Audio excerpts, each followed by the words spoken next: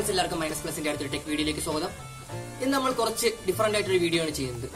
നിങ്ങൾ എല്ലാവരും വീട്ടിൽ നിന്ന് മാറിയിട്ട് വേറെ എങ്ങോട്ടെങ്കിലും ഒക്കെ ഒരു ദിവസം മാറിയിരിക്കുകയാണെങ്കിൽ വീട്ടിൽ ചെടിയൊക്കെ ഒരുപാടുള്ളവർക്ക് ചെടി നനയ്ക്കാനൊക്കെ ബുദ്ധിമുട്ടായിരിക്കും. നമ്മൾ തിരിച്ചു വരുമ്പോഴത്തേക്ക് ചെടിയെല്ലാം വാടി കിടക്കും അപ്പൊ അതിനൊരു പരിഹാരമായിട്ടുള്ള ഒരു ചെറിയ വീഡിയോ ആണ് നമ്മൾ ഉദ്ദേശിക്കുന്നത്.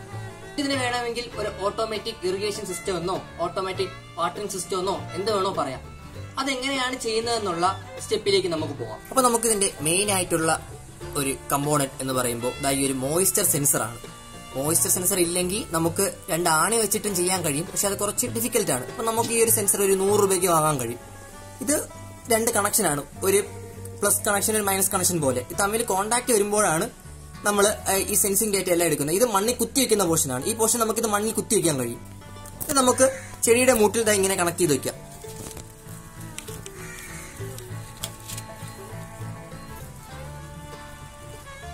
അപ്പൊ നമ്മുടെ ഈ മണ്ണിന് ഒരു റെസിസ്റ്റൻസ് കാണും. അപ്പൊ ഈ മണ്ണിൽ നനവ് കൂടുമ്പോൾ റെസിസ്റ്റൻസ് കുറയും. അപ്പോൾ നമുക്കറിയാം നമ്മുടെ ഈ കോപ്പർ അയണ് അലുമിനിയം പോലുള്ള കമ്പികളിൽ കൂടെയൊക്കെ നമുക്ക് എന്ത് ചെയ്യും? ഇലക്ട്രിസിറ്റി പാസ് ചെയ്യും. പക്ഷെ അതിന് പകരം പ്ലാസ്റ്റിക് ഒക്കെ ആണെങ്കിൽ പാസ് ചെയ്യത്തില്ല. അപ്പോൾ ഈ മണ്ണിന് നനവില്ലാതിരിക്കുന്ന സമയത്ത് അതിൽ കൂടെ ഇലക്ട്രിസിറ്റി വലുതായിട്ട് പാസ് ചെയ്യില്ല. പക്ഷെ മണ്ണ് നനവുണ്ടെങ്കിൽ ഇലക്ട്രിസിറ്റി അതിൽ കൂടെ ഒരുപാട് പാസ് ചെയ്യും. അപ്പോൾ ആ മണ്ണിന്റെ നനവിനനുസരിച്ചുള്ള വാല്യൂ ആണ് നമുക്ക് ഈ മോയിസ്ചർ സെൻസർ വഴി സെൻസ് ചെയ്യുന്നത്. ഇത് ആ സെൻസറിന്റെ ഔട്ട്പുട്ട് ആംപ്ലിഫൈ ചെയ്യാനായിട്ടുള്ള ഒരു ആംപ്ലിഫിക്കേഷൻ പാർട്ടാണ് ഈ മോയിസ്ചർ സെൻസറിന് നാല് കണക്ഷൻ പിന്നാണ് ഒരു ഫൈവ് വോൾട്ട് പിന്ന് ഒരു ഗ്രൗണ്ട് പിന്ന് അതിനെയോ എന്ത് കൺട്രോളറോ യൂസ് ചെയ്താലും അതിന്റെ ഫൈവ് വോൾട്ടിലും ഗ്രൗണ്ടിലും കൊടുക്കാം. പിന്നെ ഒരു അൺലോക്ക് പിന്നും ഒരു ഡിജിറ്റൽ പിന്നും അൺലോക്ക് പിന്നിൽ നിന്നുള്ള ഡേറ്റയാണ് നമ്മൾ എടുക്കുന്നത്. കാരണം നമുക്ക് കണ്ടിന്യൂസ് ആയിട്ടുള്ള ഡേറ്റ വേണം. ഈ ഡിജിറ്റൽ പിന്നിന്റെ ഉപയോഗം എന്ന് പറഞ്ഞാൽ നമുക്ക് ചെറിയ തോതിലേക്ക് ഒരു കൺട്രോളർ മൈക്രോ കൺട്രോളർ ഒന്നും ഇല്ലാതെ നമുക്ക് ഡയറക്റ്റ് ആയിട്ട് അവിടെ ഒരു റിലേയോ എന്തെങ്കിലും കണക്ട് ചെയ്ത് കൊടുക്കാം.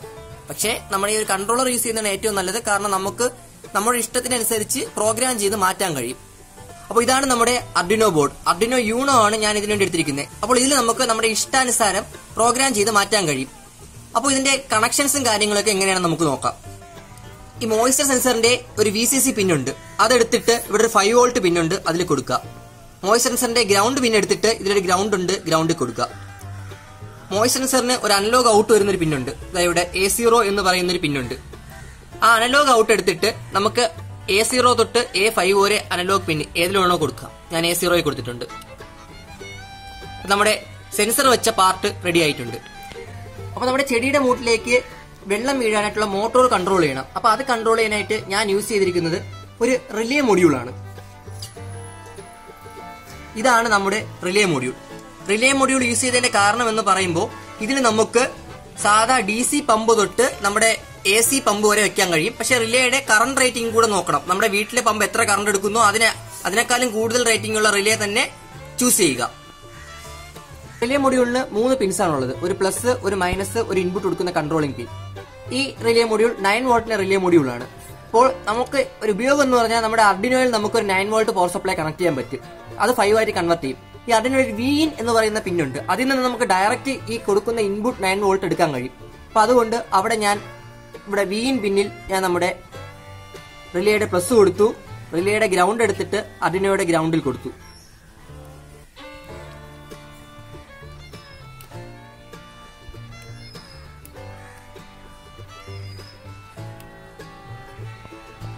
ഇനി ഈ റിലേ കൺട്രോൾ ചെയ്യാനായിട്ടൊരു പിന്ന് വേണം. നമുക്ക് ഏത് പിന്ന് വേണോ ചൂസ് ചെയ്യാം.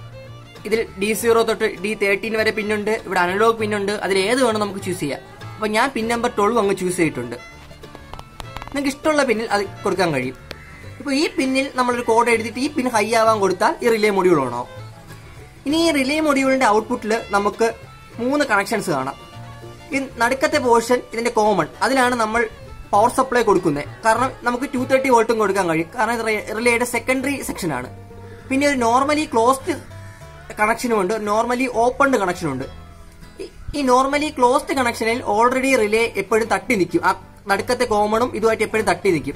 റിലേ ഓൺ ആകുമ്പോൾ അത് നേരെ നോർമലി ഓപ്പണും ആയിട്ട് ടച്ച് ചെയ്യും. അപ്പൊ നമുക്ക് ആവശ്യം നടുക്കത്തെ കോമണും ഈ നോർമലി ക്ലോ ഓപ്പൺ ആയിട്ടുള്ള പിന്നുമാണ് നമുക്ക് ആവശ്യം.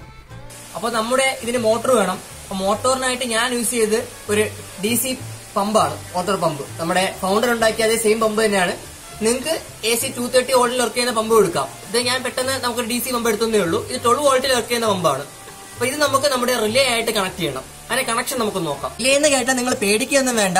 വീട്ടിലെ ഒരു സ്വിച്ച് എന്നങ്ങ് മാത്രം വിചാരിച്ചാൽ മതി. സ്വിച്ച് എങ്ങനെയാണോ വയർ ചെയ്യുന്നത്? അതേപോലെയാണ് റിലേ വയർ ചെയ്യുന്നത്. നമ്മുടെ ബെഡ്റൂം സ്വിച്ച് ഇരിക്കുന്ന ആ രീതി ഓർത്താൽ മതി. കാരണം നടുക്കൊരു സെക്ഷൻ അപ്പുറം രണ്ട് സെക്ഷൻ ഇതിൽ ഒരു സെക്ഷൻ നമ്മൾ യൂസ് ചെയ്യുന്നില്ല തൽക്കാലത്തേക്ക്. അപ്പൊ നമ്മുടെ നടുക്കത്തെ സെക്ഷനിൽ അതായത് ഒരു ബ്ലാക്ക് വയറാണ് അതിൽ നമ്മുടെ ബാറ്ററിയിൽ നിന്ന് വരുന്ന പവർ കൊടുക്കണം ട്വൽവ് വോൾട്ട് അതിന്റെ അപ്പർ സെക്ഷനിൽ നമുക്ക് ഈ മോട്ടോറിന്റെ ഒരു പ്ലസ് വയർ എടുത്ത് കൊടുക്കാം.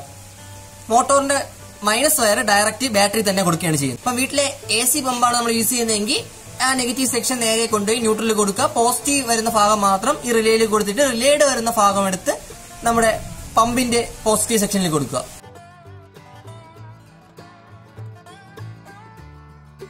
അപ്പൊ നമുക്ക് ഇതിലേക്ക് കോഡ് അപ്ലോഡ് ചെയ്യാം. ഇനി നമുക്ക് സെൻസർ വർക്ക് ചെയ്യുമെന്ന് ചെക്ക് ചെയ്ത് നോക്കാം. അപ്പൊ നമുക്ക് ഇതൊന്ന് ചെക്ക് ചെയ്ത് നോക്കാം. നമ്മുടെ അനൂപിന്റെ കുളത്തിൽ തന്നെയാണ് ചെക്ക് ചെയ്യുന്നത്. സെൻസർ വയ്ക്കുന്നതിന് മുമ്പ് ഫൈവ് വോൾട്ട് കാണിക്കുന്നു. സെൻസർ വച്ച് കഴിഞ്ഞപ്പോൾ അതിന്റെ വേര് കുറയുന്നുണ്ട്. അപ്പൊ നമുക്ക് വെള്ളം വരുമ്പോൾ അതായത് വെള്ളം വെള്ളമായിട്ട് കോണ്ടാക്റ്റിൽ വരുമ്പോൾ ഇതിന്റെ വേര് കുറയുകയാണ് ചെയ്യുന്നത്. അപ്പൊ ആ രീതിയിലാണ് ഞാൻ കോഡ് എഴുതിയിരിക്കുന്നത്. സീറോ ടു ഫൈവ് വരെയാണ് ഇതിന്റെ വോൾട്ടേജ് ഔട്ട്പുട്ട് കിട്ടുന്നത് ത്രീക്ക് താഴെ വരുമ്പോൾ നമ്മുടെ മോട്ടോർ ഓൺ ആവുന്ന രീതിയിലാണ് ചെയ്തേക്കുന്നത്. ഇനി നമുക്ക് എല്ലാ കാര്യങ്ങളും കൂടെ സെറ്റ് ചെയ്തിട്ട് മോട്ടർ എല്ലാം സെറ്റ് ചെയ്ത് നമുക്കൊന്ന് ഫിറ്റ് ചെയ്ത് നോക്കാം. ഇവിടെ ഇപ്പൊ നല്ല മഴയാണ്. അതുകൊണ്ട് നമ്മൾ ഒരു ചെടി മാറ്റി വെച്ചിട്ടുണ്ട്. നനവില്ലാത്ത ബാക്കിയുള്ള എല്ലാ ചെടിയും നനഞ്ഞിരിക്കുകയാണ്. മണ്ണ് ഉണക്കം ഇല്ലെങ്കിൽ നമുക്ക് കറക്റ്റ് കിട്ടത്തില്ല. വോൾട്ട് മോട്ടറിൽ ഞാനൊരു ഓസ് കൊടുത്തിട്ടുണ്ട്. നമ്മൾ ഡെമോയ്ക്ക് വേണ്ടി ചെയ്തുകൊണ്ട് ചെറിയ മോട്ടർ എടുത്തേ ഉള്ളൂ. നിങ്ങൾക്ക് വേണമെങ്കിൽ വലിയ മോട്ടർ എടുക്കാം. ഇനി നമ്മുടെ ബോർഡെല്ലാം ഞാൻ കവറിലാക്കിയിട്ട് ഇവിടെ സെറ്റ് ചെയ്ത് വെച്ചിട്ടുണ്ട്. നിങ്ങളൊക്കെ യൂസ് ചെയ്യുമ്പോൾ നല്ല വാട്ടർ പ്രൂഫ് ആയിട്ടുള്ള ഒരു കവറിൽ കൊടുക്കുക നമ്മളിപ്പോൾ ഡെമോയ്ക്ക് ചെയ്തപ്പോൾ ഇങ്ങനെ കൊടുത്തേ ഉള്ളൂ. കാരണം ഇതിൽ വെള്ളം ഇറങ്ങിപ്പോയാൽ ഡാമേജ് ആവും. മോട്ടർ ഞാൻ നേരെ എടുത്തിട്ട് നമ്മുടെ കുളത്തിലേക്ക് ഇടുകയാണ്.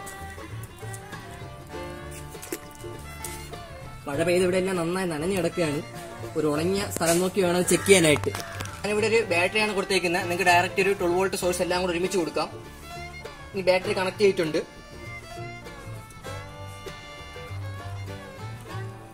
ഇപ്പോൾ നമ്മുടെ ഈ ഒരു ചെടി മാത്രം നന്നായിട്ട് ഉണങ്ങിയിരിക്കുകയാണ് എന്റെ മൂഡ് അപ്പോൾ ഞാൻ ഇപ്പോൾ നമ്മുടെ അർഡിനോയ്ക്ക് പവർ കൊടുത്തു. നമ്മുടെ പവർ സപ്ലൈ എല്ലാം കൊടുത്തിട്ടുണ്ട്. നമ്മുടെ പമ്പിനും പവർ കൊടുത്തിട്ടുണ്ട്. അപ്പോൾ ആ ചെടി വെള്ളം വീണു. ആ ഒരു ലെവൽ കഴിഞ്ഞപ്പോൾ അതിലുള്ള വെള്ളം അങ്ങ് ഓഫായി ഇനി വീണ്ടും ഒരു ഉണങ്ങിയ സൈഡിൽ നമ്മളിത് കൊണ്ടുവയ്ക്കുന്ന ടൈമിൽ മാത്രമേ നമുക്ക് അതിലേക്ക് വീണ്ടും വെള്ളം എടുത്തുള്ളൂ അപ്പൊ നമുക്ക് വേറൊരു ഉണങ്ങിയ സ്ഥലത്തേക്ക് നോക്കാം. വേറൊരു ഉണങ്ങിയ സ്ഥലത്തേക്ക് വെച്ചിട്ടുണ്ട്. ഇപ്പൊ നമ്മുടെ അബ്രിനോ വീണ്ടും നമുക്കൊന്ന് പവർ ചെയ്യാം.